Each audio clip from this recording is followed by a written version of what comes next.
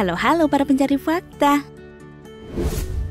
Pemerintah memutuskan untuk menyesuaikan harga BBM subsidi. Harga bahan bakar minyak atau BBM bersubsidi resmi naik Sabtu 3 September 2022 lalu. Presiden Jokowi mengaku dirinya telah mengambil sebuah keputusan yang sulit untuk melakukan penyesuaian dengan menaikkan harga BBM. Namun mau tidak mau hal tersebut menjadi pilihan terakhir yang ia ambil. Berbicara soal harga BBM, tentu saja setiap negara memiliki harga yang berbeda-beda. Mulai negara yang paling mahal harga BBM-nya hingga negara yang paling murah.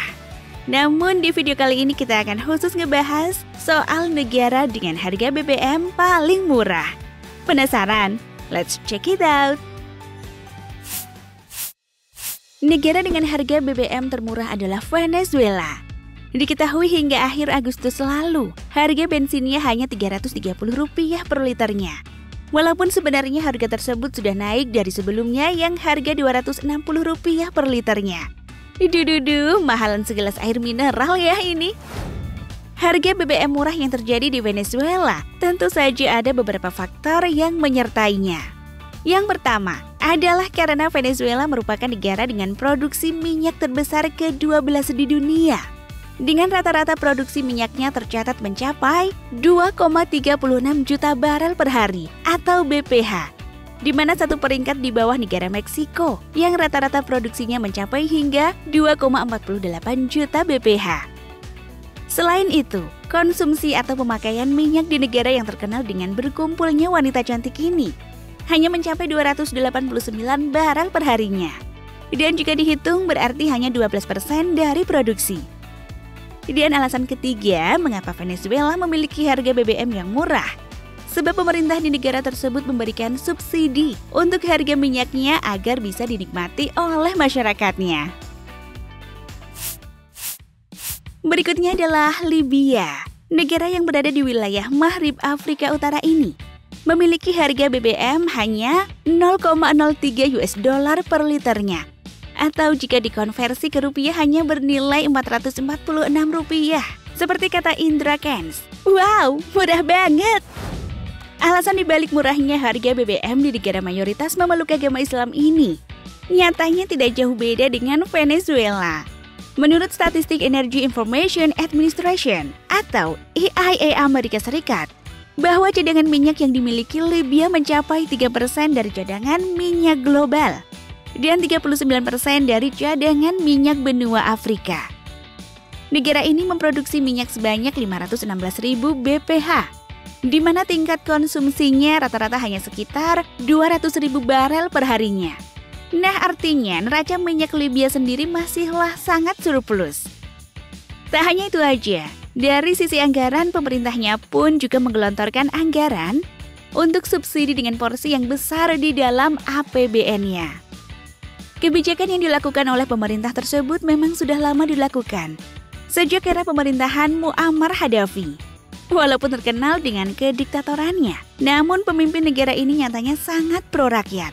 Di mana selain BBM yang murah, dirinya pun menggratiskan listrik serta pendidikan bagi masyarakatnya. Keren woi. Selanjutnya kita ke negara dengan harga BBM termurah yang berada di benua Asia, yaitu Iran. Di negara ini hanya mematok harga minyaknya sebesar 0,053 US dollar per liternya atau setara dengan 789 rupiah. Mendengar dari namanya saja tentu saja masyarakat sudah tidak merasa heran lagi. Sebab salah satu alasan di mana negara ini rawan dengan konflik karena minyak bumi mereka. Selain Arab Saudi yang terkenal kaya akan minyak buminya di wilayah Timur Tengah, Iran pun termasuk salah satu di antaranya. Dari data World Do Matters yang didapatkan, produksi minyak Iran perharinya mencapai 4,38 juta barel dan menduduki urutan ketujuh penghasil minyak terbesar di dunia. Selain itu, Iran juga termasuk dalam negara yang mencatatkan surplus neraca minyak. Sebab konsumsi hariannya hanya berada pada kisaran 1,7 hingga 1,8 juta barel per hari. Yang itu artinya penggunaannya tidak mencapai 50% dari produksi minyak hariannya. Bukan hanya itu saja, subsidi yang diberikan pemerintah kepada masyarakatnya dilakukan agar masyarakat tetap merasakan BBM yang murah. Posisi keempat adalah Algeria. Negara dengan wilayah terbesar di benua Afrika ini memiliki harga bensin sebesar Rp4.873 per liternya. Tak bisa dipungkiri memang, sebab Afrika juga dikenal sebagai salah satu benua dengan penghasil minyak bumi terbesar. Dalam urutan penghasil minyak terbesar di dunia, Algeria atau Aljazair masuk dalam urutan ke-17, di mana produksi minyak perharinya adalah 1,69 juta barel. Sama seperti negara yang sebelum-sebelumnya, subsidi pemerintahnya pun banyak diberikan kepada masyarakat agar merasakan BBM yang murah. Dan yang terakhir kita kembali ke benua Asia, yaitu Kuwait.